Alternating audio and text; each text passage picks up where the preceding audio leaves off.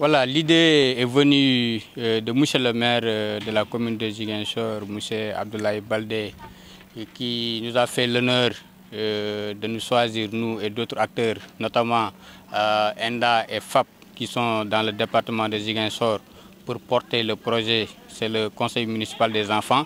Ce projet qui a une envergure démocratique, c'est un processus pour euh, accompagner les enfants dans la phase euh, de l'apprentissage de la démocratie d'une part, euh, de leur renforcement de capacité dans le volet leadership et dans le volet de la bonne gouvernance.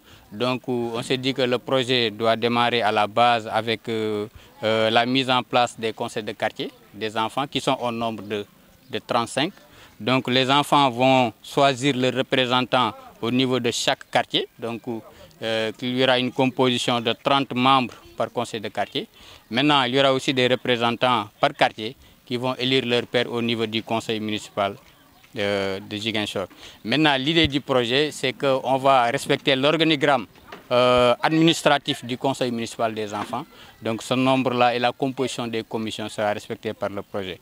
Donc je crois que ça demande beaucoup de travail, nécessite beaucoup de travail préparatoire, d'abord pour l'implication de tous les acteurs. Donc on a déjà pensé à mettre en place euh, une task force de mise en œuvre qui est composée de l'équipe de la mairie. Donc il y a le département de la communication, il y a le département aussi de la planification, il y a l'équipe de Dimbaya, l'équipe de FAP et l'équipe aussi de ENDA qui sont sur le terrain depuis presque plus de deux mois et ils sont accompagnés par des enfants leaders. Ce sont des enfants porteurs de messages qui doivent véhiculer des messages et sensibiliser leurs pères euh, pour qu'ils comprennent le processus, le processus de soi, c'est quoi le conseil municipal des enfants, qu'est-ce qui est attendu, quels sont les résultats, quel est l'objectif général, c'est ce qui est visé dans le projet. L'idée c'est que euh, la problématique des enfants soit portée par les enfants eux-mêmes au niveau de tous les quartiers. Tout à l'heure, vous avez entendu la présidente qui vient d'être élue. Elle est revenue de, de façon très claire sur son objectif, sur son cahier de charge, qui consiste aujourd'hui à discuter et partager avec le conseil des adultes.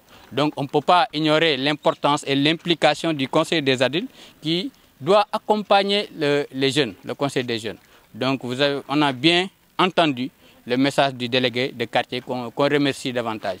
Parce qu'on a tenu beaucoup de rencontres d'harmonisation, beaucoup de rencontres de partage et d'arbitrage pour que les délégués nous accompagnent.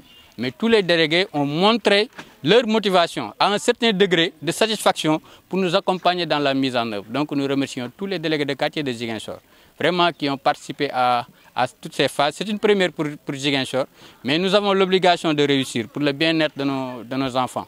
Donc tout à l'heure, les enfants ont identifié certaines problématiques liées à, l'hivernage, liées aux problèmes d'état civil, liées aussi euh, à la maltraitance euh, il y a beaucoup d'aspects. Donc nous, l'idée c'est qu'on les accompagne à identifier leurs problématiques et maintenant on va porter ça auprès du conseil des adultes.